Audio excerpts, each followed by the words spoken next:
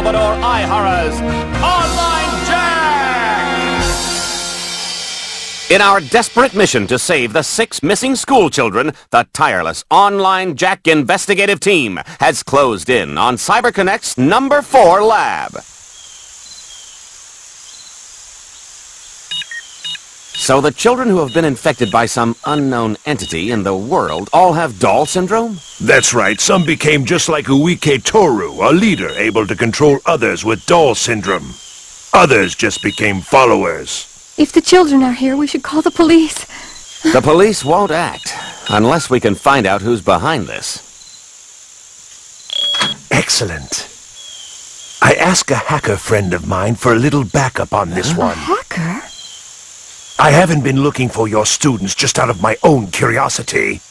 I'm doing it because I want to save them. And if I lose my job in the process of that, then so be it.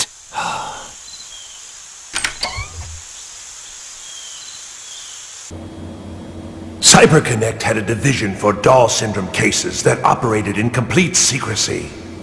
So the company knew about the risks of the online game? They observed all the patients to help cover it up. Looks like nobody's here.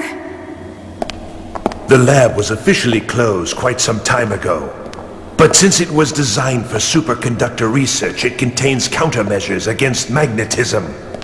So even if the children released their strange power, they would be able to contain it. I release the great power.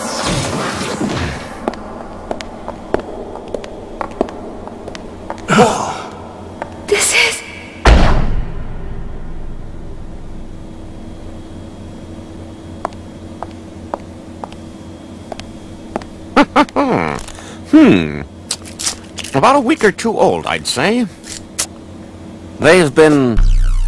oh. Oh, this is the world!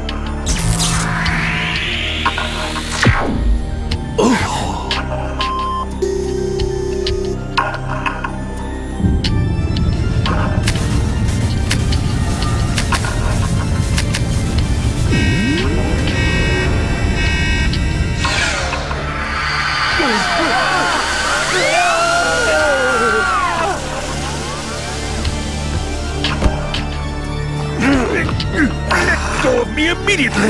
I don't take orders from thieves. I... I don't understand what happened.